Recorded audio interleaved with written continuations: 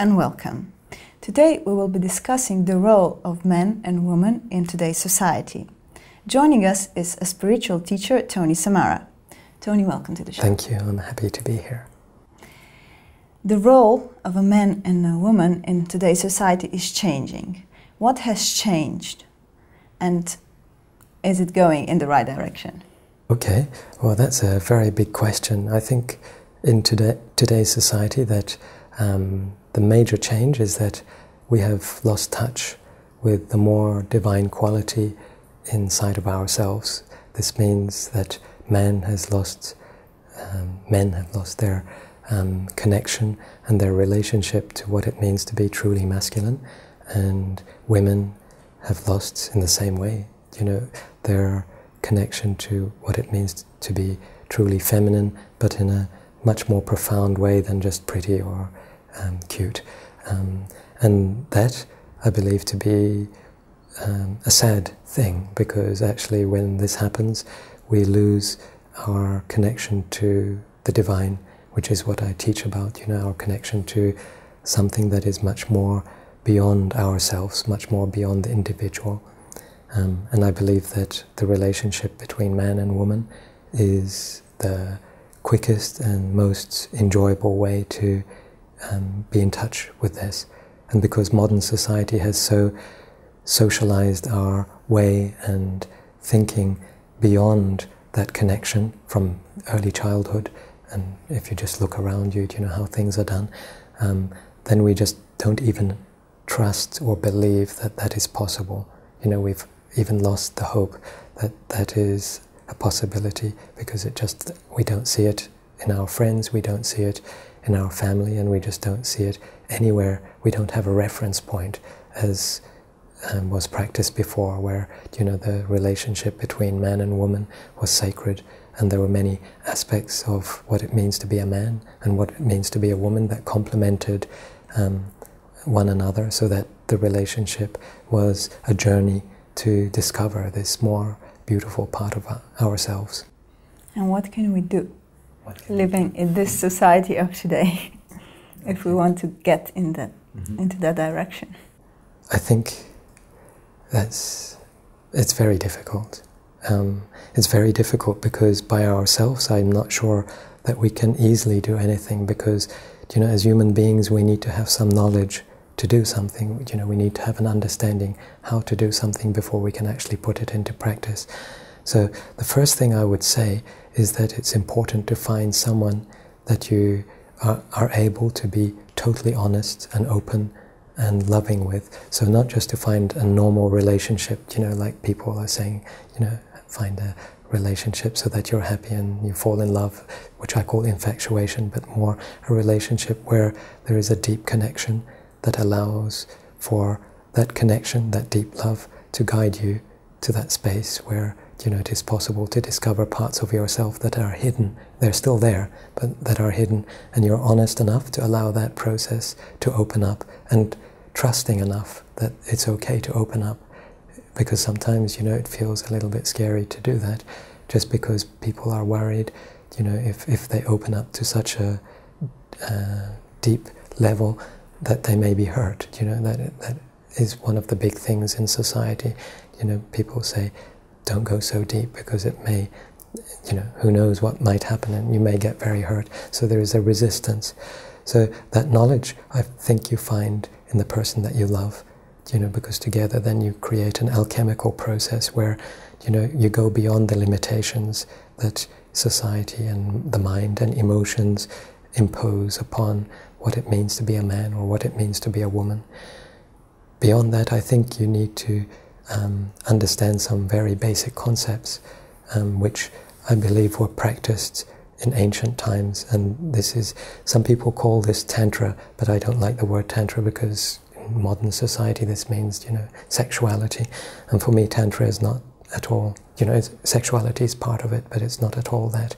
It's more, you know, discovering what it means um, to utilize aspects of yourself in a relationship, and especially the body and so how to relax the body. And for me, the body is not just physical, the body is much more. So, how to relax the body to such a point where the body can guide you um, in the relationship, and that is called instinct and following, you know, intuition, rather than, you know, just listening to the emotions and listening to the mind. And they're impermanent, so if you just listen to them or you're just attached to those, then the problem usually is that when you fall a little bit out of love or when things get difficult, you know, um, the, the magic between two people disappears. But when you're in touch with your body in a very specific way, like I believe Jesus and Mary Magdalene, um, where then there is a spiritual bond because the body leads, the body I believe to be the temple, and then that temple leads you to a space where, you know, there is a very deep alchemical process between two people. Um, you know, it's vague because I can't really be too specific, but I'm just giving a general idea. This is what I teach. Um, basically, I've been working with this concept for now more than 20 years with people, you know, how to let go of all the limitations inside of you so that you're open and honest and direct and courageous enough to be able to share um, your deepest part of yourself with another person. And when you do this, then you're opening to the divine because this is what the divine, I believe, wants people to do. You know, people meaning man and woman, you know, to get closer because this on earth, on this physical dimension, that is the um, most um, powerful meditation, which I call Tantra, you know. Um, it's the most powerful meditation to be able to open up in this way.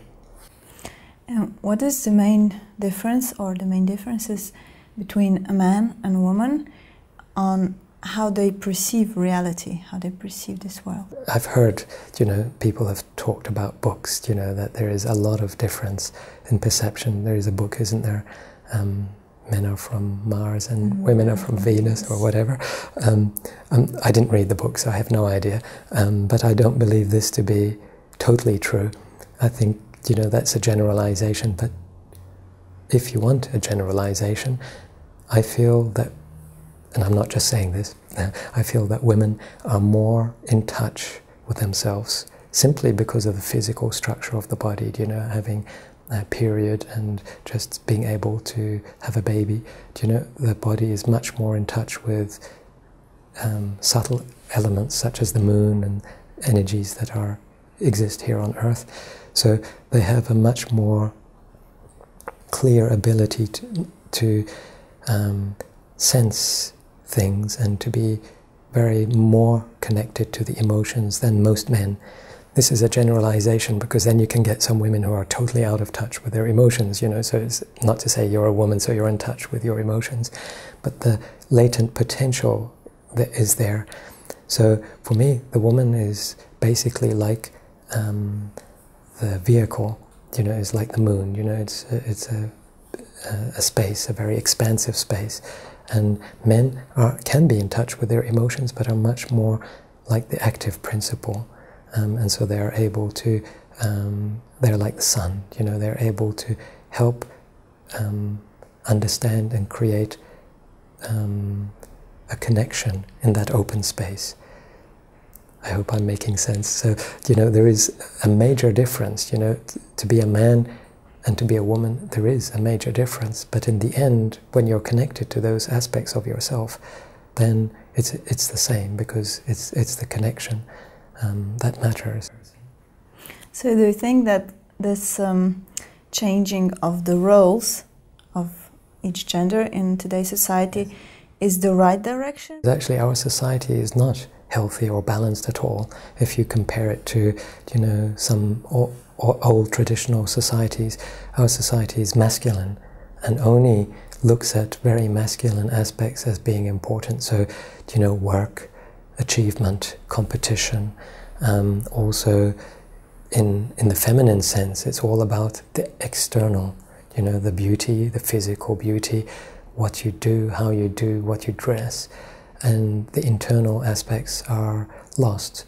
And those are the aspects that are important to, to work with, what I was saying previously. So I don't believe our society is at all free. I think it's much more um, complicated to live in this society than it was in some more traditional societies where there were taboos that prevented you from doing certain things that were, you know, easy to see. In our society, there is. This is why young people today, you know, um, find it very difficult. There is so much pressure to be and do things in a certain way. So that sense of freedom is not. It's not there. You know, people. You have to be very strong to say, I don't want to follow in that direction and I want to do something for myself uh, because I believe that's important. You know, most people just fall into the old and easy ways of doing things. And it's so masculine that even our perception of reality is changed. You know, if we look at how we look at time and how we act out our lives, you know, it is a very masculine way of doing things. So I, I don't believe this to be balanced at all. And it's our society, so we have to live with it. Uh, and this is where I believe, you know, we can't just say no, we, you know, or try to leave society and go somewhere and, you know, create some sort of paradise. I believe we can do that in a relationship when we bring those aspects that are missing on the outside back into the relationship, and then that can create um, a sense of freedom to do what you want to do outside in society. And that requires two people to be so close that you know their reference point isn't I have to dress up in this way or I have to do this or I have to create this for myself to be happy. You know, it is the relationship between two people. And what are the normal average relationships between men and women in today's society creating if we look at the society as a whole? When you have to look at statistics to see that they don't last. no, uh, I'm told anyway that you know um, marriage is absolutely an institution, and it's not really. I'm not against marriage, but what how I see it is that you know it's a romantic idea, but for most people, it's not really a happy uh, ending, um, and you know most relationships they are very nice in the beginning because Western society places a lot on romantic infatuation, uh, which me- infatuation means that you just you are not really seeing the person for who they are. You're falling in love with an idea, and this is what I mean. You know, coming back to the body. See, instead of actually relating to the person and seeing who the person is, you are projecting an image of who you would like the person to be. So infatuation lasts for as long as that image is maintained and it can't be for 10 years. You know, usually people, you know, after a few months or maybe three or four months, say, okay, there are aspects of this person that I'm not so comfortable with, and so then the intensity of love um, disappears, and that connection wanes, and then the relationship is a relationship. People stay in the relationship because they're not wanting to be alone. They don't want to be lonely. They're afraid of leaving the relationship because it may mean that this or that happen. You know, there, there is not that deep connection that creates the alchemical process because I believe relationship can go deeper. You know, it's not that, you know, there is a romantic uh, few months in the beginning and then, well, you just live together. I believe actually if you are listening to the person and listening to your body and listening to the reality of the other person that you're in relationship with, then you can only fall more and more in love with that person. It's impossible not to because you you know you recognize more and more of what you love with time rather than you know saying oh I don't like this because this was just an idea of the person you completely see um, what is beautiful about the person and I think this is not so easy because we don't have experience in this. Our parents usually don't have that sort of love. You know, they, they maintain a relationship for the good of the children or because it's what they've done and they don't know anything else. But they haven't got that sense of love like Romeo and Juliet, you know, that amazing sense where, you know, all you can do is you want to be with the person and you want to share more and more of who you are with the person and the person wants to do the same thing that creates um, a deep oneness. And this oneness you know creates more and more love. Um, I don't see that in today's most people you know I don't see that. How to how to bring that more about, I think you really have to find someone that is the person that you love. You know, not just have an idea, and that takes courage because you know sometimes we fall in love with people because they fit into our lifestyle.